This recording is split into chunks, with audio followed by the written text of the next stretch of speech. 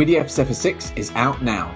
With substantial improvements across the reconstruction pipeline, the state-of-the-art technology behind Zephyr 6 brings you faster reconstruction, greater accuracy, and more detail than ever before, with the same familiar, user-friendly interface you know and love.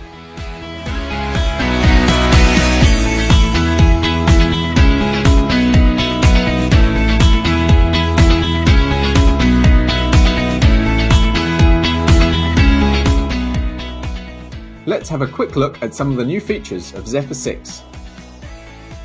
The new Volume of Interest tool enables you to quickly and easily isolate key areas of your reconstruction and is ideal for handling and editing large projects.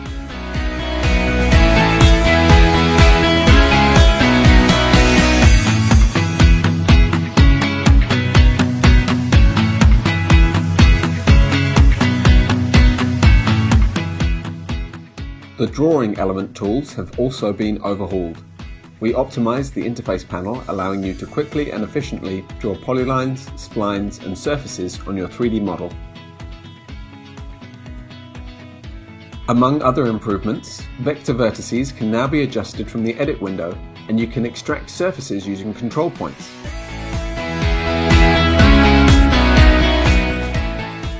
With this update comes the new Guided Break Lines Extraction tool, Guided break lines automatically predict your mesh profile and is the ideal tool for mapping quarries.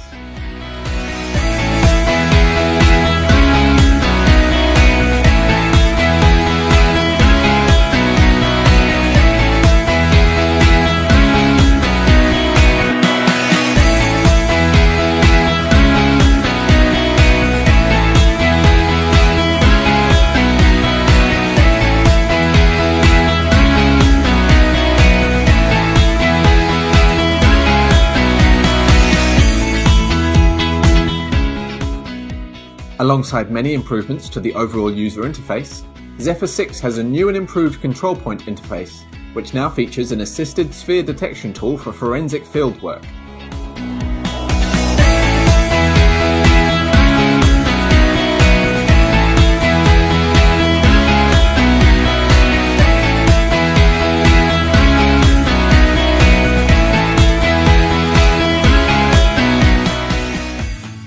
The Lua console has now been replaced by a new console with Python bindings.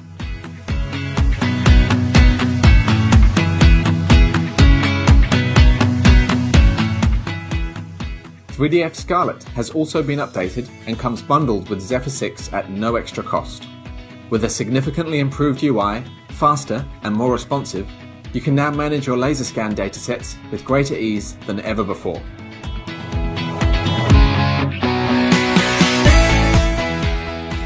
Try Zephyr 6 today with new import and export support, including the Autodesk RCP file format, modular save files, skybox rendering, a planar UV reprojection tool, and much, much more, we are sure that you're going to love what Zephyr 6 has on offer. Visit 3dflow.net for a free trial, or update your copy of 3DF Zephyr automatically through your active installation.